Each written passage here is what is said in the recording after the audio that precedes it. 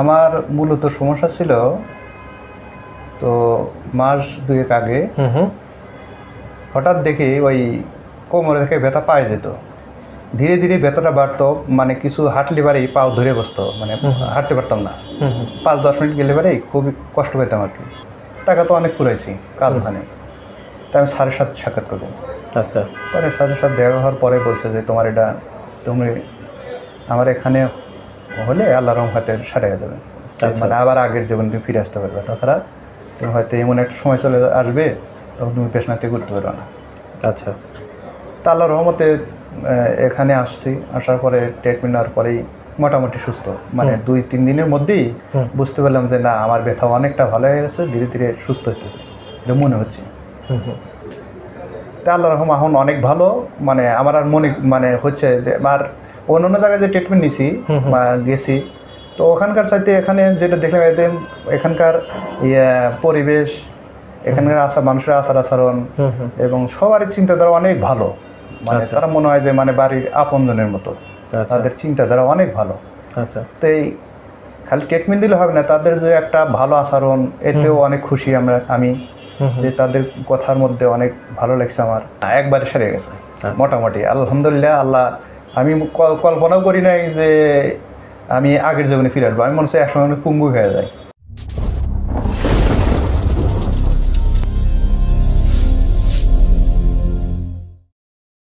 আসসালামু আলাইকুম। দর্শক, আশা করি সবাই ভালো আছেন এবং সুস্থ আছেন। শুরু করছি আমাদের প্রতিদিনকার অনুষ্ঠান। মেডিকেল বিডির পক্ষ থেকে আপনাদের সকলকে স্বাগত দর্শক, দিন দিন যত আমরা চিন্তা করি যে হয়তো সামনের দিনগুলো আমাদের আরও ভালো যাবে, হয়তো এখন কিছুটা আমরা সমস্যার ভিতরে আছি বাট এই সমস্যাটা হয়তো থাকবে না, সামনে হয়তো কিছুটা সুদিন আসবে। কিন্তু দেখা যাচ্ছে যে প্রতিনিয়তই আমরা কোনো না কোনো সমস্যায়, কোনো না কোনো অসুখে আমরা আষ্টে পৃষ্ঠে বাধা পড়ে যাচ্ছি। নতুন নতুন করে বিভিন্ন ধরনের রোগে মানুষ আক্রান্ত হচ্ছেন, বিভিন্ন সমস্যায় আক্রান্ত হচ্ছেন। তবে সুখবর হচ্ছে সেটাই যে এই ধরনের সমস্যা থেকে উত্তরণের পথও কিন্তু আছে। নতুন নতুন করে বিজ্ঞানীরা যেমন বের করছেন, এর বিভিন্ন সমাধানের উপায়, তেমনি সব কিছু খুব সহজেই এখন আমাদের হাতের নাগালেও চলে এসেছে। দর্শক, আমাদের আজকের যিনি অতিথি, ওনার নাম হচ্ছে ফেরদোস আলম, বয়স মাত্র তেত্রিশ বছর। দীর্ঘ একটা সময় উনি পিএলআইডি রোগে উনি ভুগেছেন। বিভিন্ন জায়গায় ওনার, এর জন্য উনি বিভিন্ন ধরনের ট্রিটমেন্টও করার চেষ্টা করেছেন। কিন্তু কখনো উনি পিছপা হননি। কখনো উনি মনে করেননি যে উনি আর কখনো অসুস্থ থাকবেন বা এই খারাপ অবস্থা থেকে উনি কখনো উত্তরণ পাবেন না সেটি তিনি কখনো ভাবেননি। উনি চেষ্টা করেছেন এবং চেষ্টার ফল উনি পেয়েছেন। আসুন দর্শক সরাসরি আমরা ওনার সাথে কথা বলি। পুরো বিষয়টা আমরা ওনার কাছ থেকে জানি। আসসালামু আলাইকুম। ওয়ালাইকুম কেমন আছেন? আলহামদুলিল্লাহ। ভালো আছেন? জি। আচ্ছা ফেরদৌ সাহেব আমাদেরকে যদি একটু বলেন যে আপনার দেশের বাড়িটা কোথায়? আমার হিসেবে বগুড়া শেরপুর। শেরপুর। জি। খুব ঐতিহ্যবাহী একটি জেলা। আচ্ছা আমাদেরকে কি একটু বলবেন যে আপনার মূলত সমস্যাটা কি ছিল? আমার মূলত সমস্যা ছিল তো মাস দুয়েক আগে হঠাৎ দেখি ওই কোমরে থেকে ব্যথা পায়ে যেত। আচ্ছা। তো ধীরে ধীরে ব্যথাটা বাড়তো মানে কিছু হাঁটলে পারেই পাও ধরে বসতো মানে হাঁটতে পারতাম না। পাঁচ দশ মিনিট গেলে পারেই খুবই কষ্ট পেতাম আর কি। আচ্ছা। এটা হঠাৎ করেই হচ্ছে। এর আগে এর আগে কি ছিল এই জিনিসটা? না এর আগে কোনো দিন এরকম ছিল না। আচ্ছা। তো তখন ক্রমান্বয়ে বেড়ে যায় তো অনেক সময় ব্যথার ওষুধ খাই। হুম কাজ হয় না। হুম হুম। তো আবার ফার্মেসিতে যাই ফার্মেসির ওষুধ বলি যে এই সমস্যা আমার। ডাক্তারে দেখাইছি অনেক জায়গায় ডাক্তারে দেখাইছি। হুম হুম। কাজ হয় নাই বগুড়া গেছি। হুম। তো আবার অনেকে বলছে যে না এর সাথে যে কোভিডাস আছে বা অমুক ভালো হুম হুম হুম। কোভিডাস আছে সেই ট্রিটমেন্ট দিলে ভালো হবে। তা আমি তো অনেক কষ্ট পাইতাম। মনে হইতো যে যে যা বলে সেটাই মানি। সেটাই শুনেন সেটাই শুনলে হয়তো ভালো হবে। মানে সমস্যাটা প্রথমে যখন অল্প একটু শুরু হয় তখন একটু হয়তো ওষুধ খাচ্ছেন ভালো হয়ে যাচ্ছেন এরকম অবস্থা। বাট একটা সময় যখন সেটা খুব বেশি খারাপ অবস্থায় চলে গেছেন তখন বিভিন্ন জায়গায় ডক্টর দেখানো শুরু করেন এবং যে যেখানে বলছেন সেখানেই চেষ্টা করেছেন। জি। তারপরে যখন না মানে খুব কষ্ট লাগে রাত্রি উঠে যন্ত্রণা ঘুম পারতে পারি না উঠে বসে থাকি চেয়ারে বসে থাকি সারা রাত। কিন্তু ব্যথা বাড়তি থাকে। খুব কষ্ট পাই তো খুব খারাপ লাগে। তো হঠাৎ করে ইউটিউবে মানে কোন কোন ডাক্তার ভালো কে ভালো ট্রিটমেন্ট দিবে? তো কার কথা শুনলে পারে এই রোগের সাথে তার মানে আমার রোগের সাথে মিলে যায়। মিলে যায়। তো এরকম চেষ্টা করছি শোনার জন্য। তো ডিপিএসসি হাসপাতালে স্যার শহীদ প্রধান স্যার তার বক্তব্য শুনে মনে হয়েছে যে আমার কথার সাথে মিলে গেছে আমার অনেকটুকু মিলে গেছে। অনেকটা মানে পুরোটাই মিলে গেছে। মানে অনেকগুলো ভিডিওর সাথে হঠাৎ দেখি এই ভিডিওটা পাচ্ছি। মিলে গেছে তখন আমার খুব ইচ্ছা হলো যে টাকা তো অনেক পুরাইছি কাজ ওখানে। তাই আমি সাড়ে সাথে সাক্ষাৎ করব। আচ্ছা। পরে স্যারের সাথে দেখা হওয়ার পরে বলছে যে তোমার এটা তুমি আমার এখানে হলে আল্লাহ রহম হাতে সারে যাবে।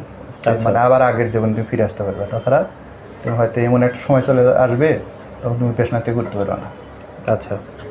তা আল্লাহ রহমতে এখানে আসছি। আসার পরে ট্রিটমেন্ট নেওয়ার পরেই মোটামুটি সুস্থ।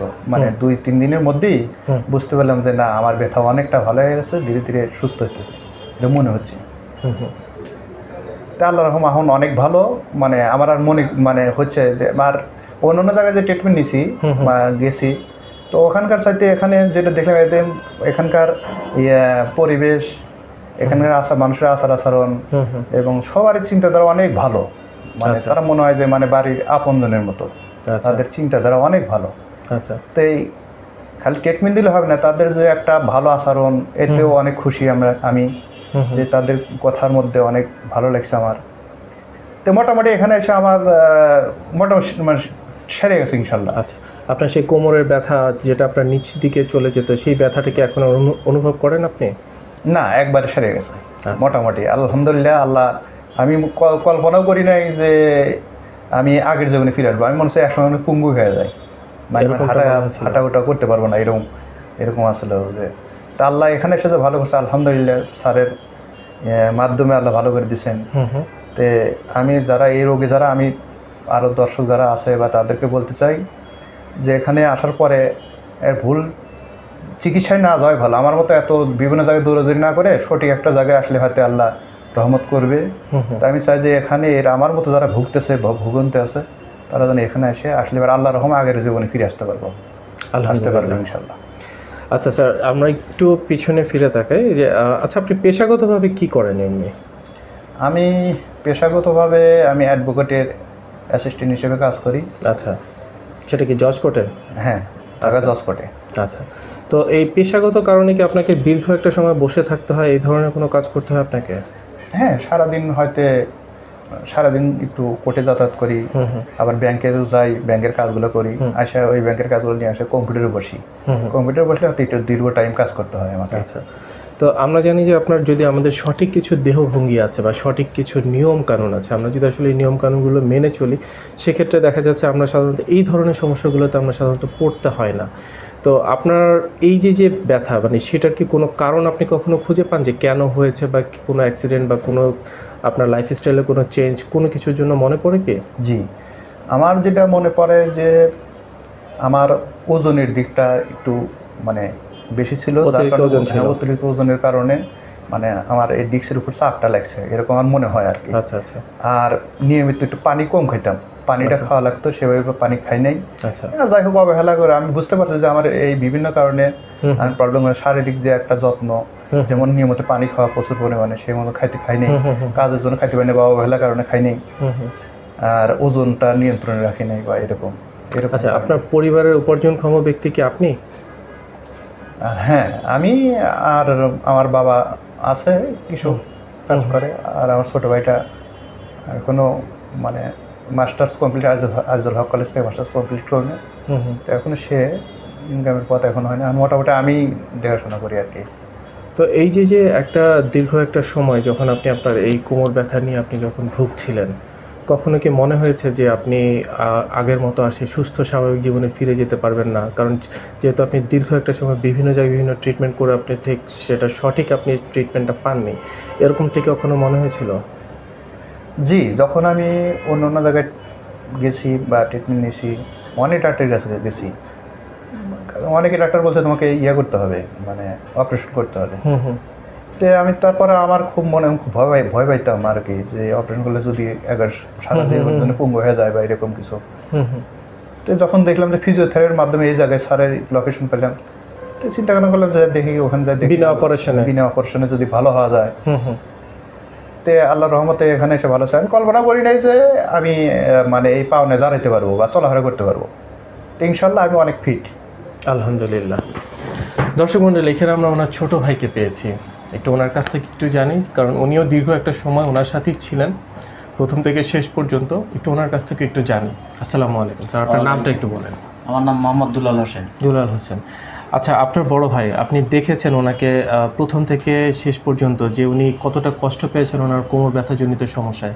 যে যখন যেখানে বলেছেন উনি চেষ্টা করেছেন সেখানে গিয়ে ট্রিটমেন্ট নেওয়ার জন্য। ওনাকে সেই অবস্থা এবং বর্তমান অবস্থায় আফটার ট্রিটমেন্ট দুটাতে কেমন পার্থক্য দেখছেন?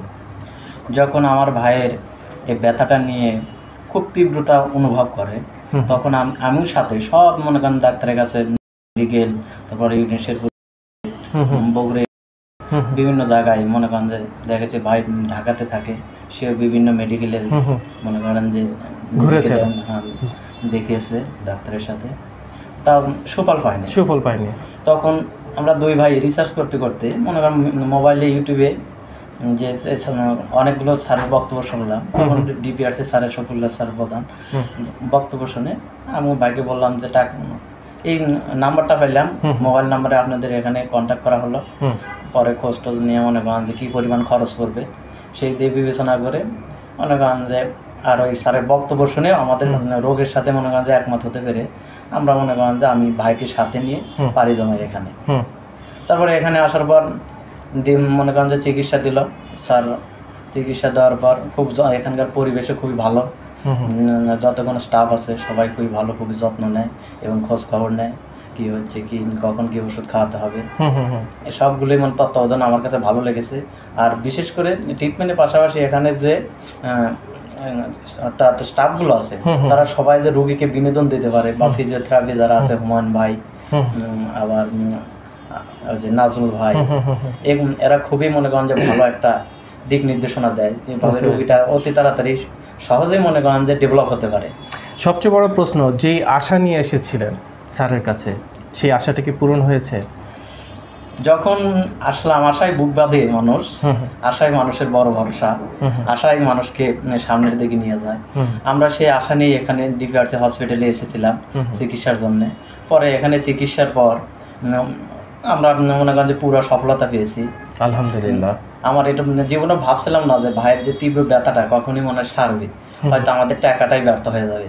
এই পরিকল্পনাই বেশি ছিল মনের মধ্যে। কিন্তু তারপরে যখন তিন দিন চার দিন এভাবে ট্রিটমেন্টের পর পুরোটা যখন ভাই ফিট হয়ে গেল তখন আল্লাহর কাছে আমি কামনা করলাম যে আল্লাহ পৃথিবীতে তুমি রোগ দিছো। রোগ সারানোর মনে করো সমাধানও আছে। তাই আমি ডিপিআরসি হসপিটালের সফুল্লাহ স্যার প্রধানকে আমি ধন্যবাদ জানাই। আল্লাহ জানি তাই দীর্ঘায়ু কামনা করে এবং মানুষের সেবায় তাকে জানি নিয়োজিত রাখতে পারে এবং মানুষের কল্যাণে তিনি- তিনি জানি নিজেকে নিয়োজিত রাখতে পারে। আলহামদুলিল্লাহ। খুব সুন্দর বলেছেন। দর্শক মণ্ডলী এতক্ষণ আপনারা নিজের কানেই শুনলেন দীর্ঘ একটা সময় দীর্ঘ একটা পথ পাড়ি দিয়ে এসেছেন। কবিরাজ থেকে শুরু করে যে যেখানে বলেছেন সেখানেই ওনারা চেষ্টা করেছেন কখনো হাল ছেড়ে দেননি। এবং আজকে দেখেন উনি সম্পূর্ণ সুস্থ এবং ভালো হয়ে আপনাদের সামনেই দেখুন উনি ওনার নিজের আপন পরিসরে উনি ফিরে যাচ্ছেন আপন ভুবনে ফিরে যাচ্ছেন একদম সঠিক এবং সুস্থ একটা মানুষ হয়ে। ধন্যবাদ আপনাদের সকলকে আমাদের সঙ্গে থাকার জন্য। আসসালামু আলাইকুম। আপনাদেরকে অসংখ্য ধন্যবাদ। আসসালামু আলাইকুম। ওয়ালাইকুম আসসালাম। আসসালামু আলাইকুম। আপনাদেরকে ধন্যবাদ এবং ডিবিআরসি হসপিটালকেও ধন্যবাদ এবং স্টাফ যতগুলো এখানে স্টাফ আছে সবাইকে ধন্যবাদ জানিয়ে সবার সুস্বাস্থ্য কামনা করে আমি এখানে বিদায় জানাচ্ছি। আসসালামু আলাইকুম। ওয়ালাইকুম আসসালাম।